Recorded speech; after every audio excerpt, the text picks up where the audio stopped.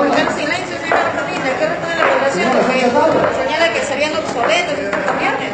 Así huyó Alejandrina Diestra, gerente de la concesionaria Diestra SAC, de las preguntas de la prensa iqueña, luego que dos camiones compactadores de basura mostraran fallas mecánicas en plena plaza de armas de Ica y en la avenida Maurtua, solo minutos después del reinicio del servicio de limpieza en la ciudad. Alejandrina Diestra, ¿cómo está? Buenas. Este, ¿Qué pasó ayer con los camiones que estaban este, en la plaza armas? Se quedaron botados uno y en la avenida Maurtua otro. ¿Qué pasó? Silencio, señora Camila. ¿Qué responde la población? Señala que serían obsoletos estos camiones. Y se han hecho la bendición como si fueran nuevos, eran ya usados. Señora, muchas gracias.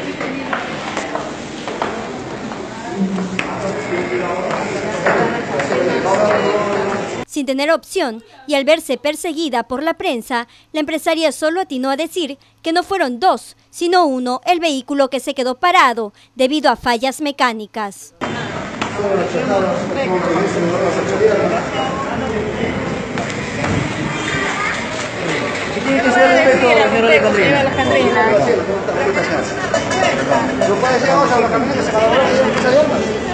¿Qué tiene que hacer al respecto, señora ¿qué tiene que decir al respecto, eh, respecto de estos dos, dos compactadores que se quedaron botados en la, en en la avenida Maurtua y el otro en la plaza de armas? No, fue una. Aquí en la plaza de armas una. En la avenida Maurtua está la foto, estaba, estaba parada. Estaba No era la misma.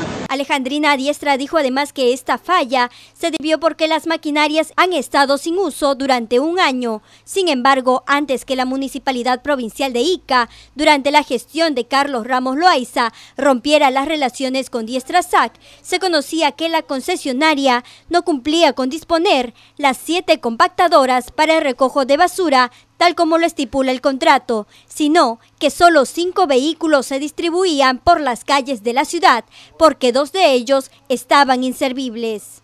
Ya, pero no avanzó entonces en, En- ni una cuadra y ya se malograron.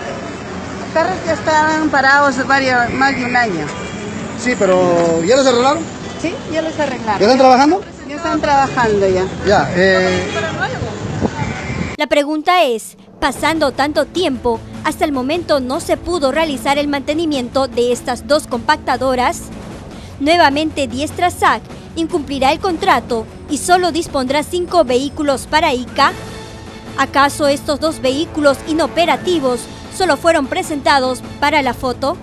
Lo que responde Alejandrina Diestra es que las siete compactadoras ya se encuentran operativas, dando a entender que esto no es como se piensa, una gran estafa.